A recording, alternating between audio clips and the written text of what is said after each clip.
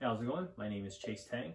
I'm an actor, a former hockey player, and also a mental health advocate. I've personally experienced uh, mental health challenges uh, twice in my life. It was very scary times. Um, this is a, a, subject that I have a lot of personal experience with and something that I'm very, very passionate about.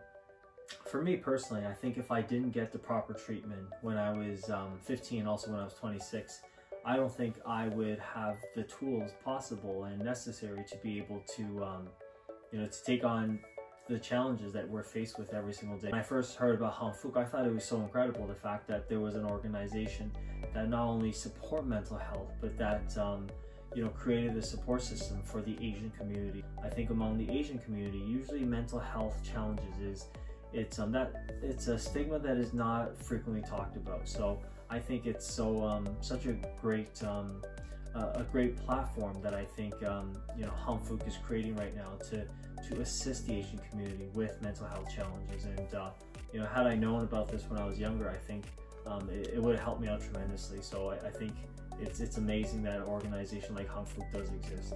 I think the world we live in today, with um, you know, there's so much pressure, especially with uh, you know, with this past year with COVID. I think it's made things even more difficult. So I think you know, programs that support mental health and organizations such as Hong Fook, I think they um, they provide so much value.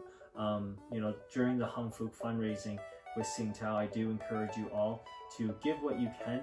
Um, this is a great cause, and I do think that it is one that, um, you know, there's definitely someone that you know personally that I think will uh, benefit tremendously from an organization like Hong Fook. So um, again, thank you for your support, and um, you know we hope that you can donate if you're able to, and um, you know wishing you a great rest of the year.